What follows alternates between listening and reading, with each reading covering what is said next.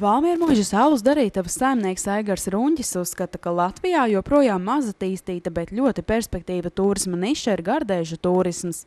Tā ir iespēja radīt piedzīvojumus turistiem, nesteidzīgi izzinot un izgaršojot oriģinālus ēdienus un dzērienus. Tāpēc mazā muižas alus darītava papildus alus darīšanai apņēmusies kļūt par gardēžu turistu iecienītu galamērķi Latvijā. Lai piesaistītu ceļotājus, uzsvars tiek likts uz individuālu attieksmi un izcilu servisu. Rezultāti neizpaliek.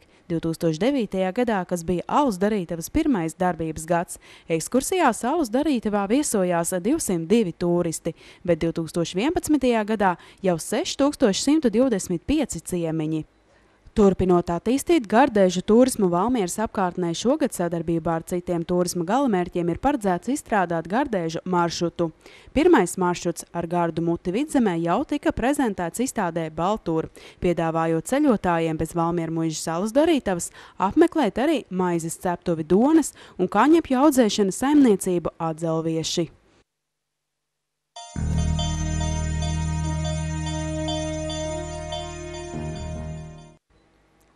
Nākamajā skolēnu brīvlaika nedēļā Valmieras jaunatnes centrs Vinda aicina ikvienu apmeklēt radošās nodarbības, kura laikā notiks gatavošanās lieldienu zaķa sagaidīšanai.